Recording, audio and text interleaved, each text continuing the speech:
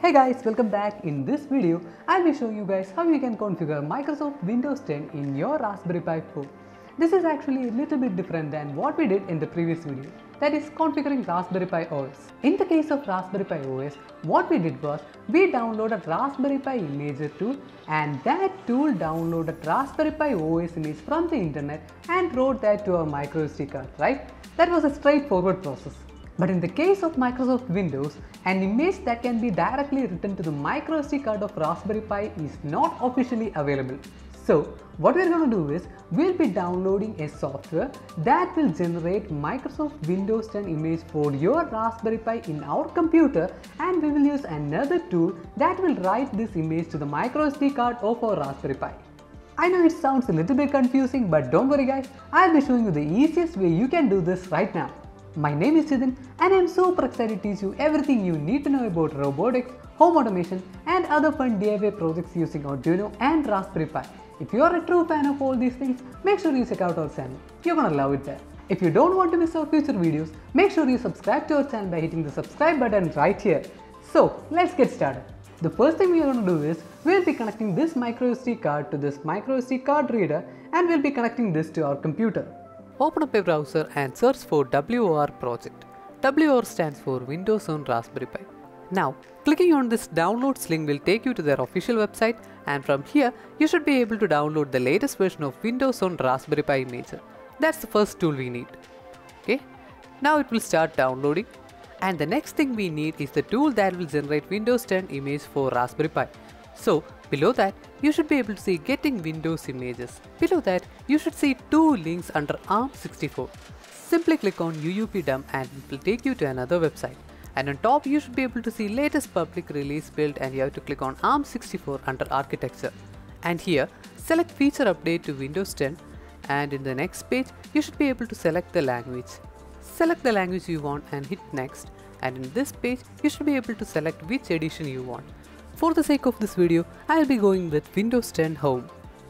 After that, click on Next and in the next page, you should select the second option that is Download and Convert to ISO. Once you have done that, you can check the summary and after that, simply click on Create Download Package and that will start the download process. Once it is finished, go to the Downloads folder, copy that file and then paste it to another location. One thing you should keep in mind is that the name of the folder in which you are copying the file should not have any spaces. So I'm just naming it Windows 4 Pi without space and paste it here and extract all the files. Once extracted, you should be able to see a file named uup underscore download underscore windows.cmd. Simply right click on that and click on run as administrator and that will start the process. Now, this tool will generate a Windows 10 image in ISO format which can then be written to the microSD card of your Raspberry Pi. It's a very long process guys so you can go out and come back later. This process took around 1 hour for me and once it is finished you should be able to see a message like this. Now, you can press 0 key to exit this window and if you take a deeper look into this folder you should be able to see an ISO file. This is the image of Windows 10 for your Raspberry Pi which can now be written onto the microSD card. Our job is almost done. Now I'm going back to downloads, copy the imager software and coming back to this folder I'll create another folder named imager, paste it here and simply extract the file. And here you should be able to see wor.txt. Now simply open the file and here you should be able to select the language.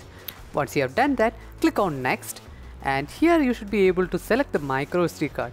And here is my 16GB microSD card and below that you should be able to select the device type. Now I am going with Raspberry Pi 4. Click next and here you should select the image that we generated earlier. Select that and click on open. Now that's done and make sure the Windows edition is correct and click on next. And here select use the latest package available on the server. Click on accept and click next. And here also select use the latest firmware available on the server and click next. And here are some additional configuration. If you want you can add or remove some parameters in the boot options. Now I'll be leaving it as such and click next. And here is a complete overview of the configuration. If you want to change anything you can simply click on back and if you are okay with it simply click on install. Now this will write Windows 10 OS on the micro SD card of your Raspberry Pi. It's going to take a while, for me it took around half an hour. Once it's done, you can simply remove the micro SD card from the computer and insert it into the micro SD card slot of the Raspberry Pi. Okay, now it's done. Now all you have to do is connect all the remaining hardware. All I have is a wireless keyboard, mouse and a monitor. And finally, we will connect the power adapter to the Raspberry Pi and switch on the Pi and monitor. And that's it. You should see the logo here and here it is. If you are booting it for the first time, it's gonna take a lot of time.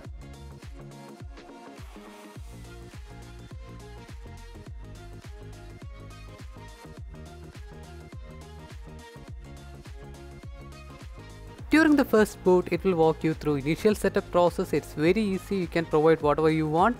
You can create an account, set up a password and set up security questions and things like that. And then you can answer all the privacy related questions. And you're almost there. And here we are in Windows 10 home screen. If you take a closer look, you can see that this version of Windows is still under test mode. Now let's go to start menu and here you can see all the apps. That wasn't hard, right?